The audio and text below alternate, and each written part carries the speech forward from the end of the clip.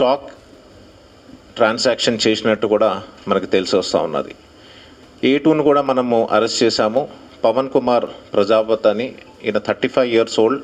Fintech business Udaipur రాజస్థాన్లో ఉన్నది.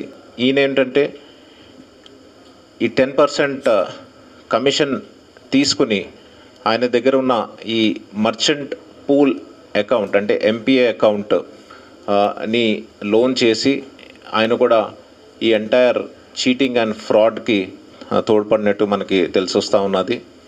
అంతేకాకుండా ఏ త్రీని కూడా అరెస్ట్ చేశాము ఇది. ఏ త్రీ ఆకాష్ రాయ్ ఈయన కూడా ఫిన్టెక్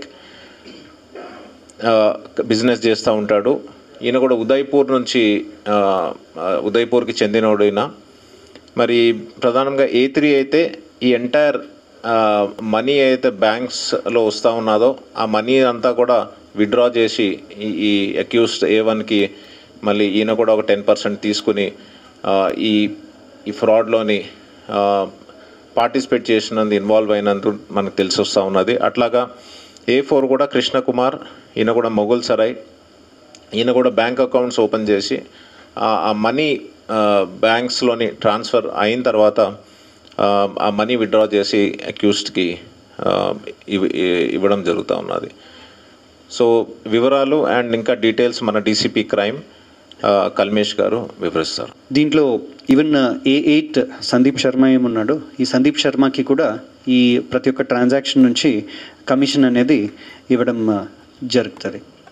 వీళ్ళు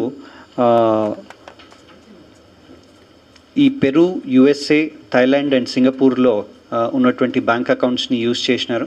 అక్కడ వచ్చినటువంటి డబ్బుల్ని వీళ్ళు వాయా బిట్ కాయిన్స్ పర్చేస్ చేయడానికి యూజ్ చేసినారు. ఈ కేసులో ఒక త్రీ బిట్ కాయిన్స్ని మేము సీజ్ చేయడం జరిగింది. It is worth about fifty five lakhs in the present market rate and.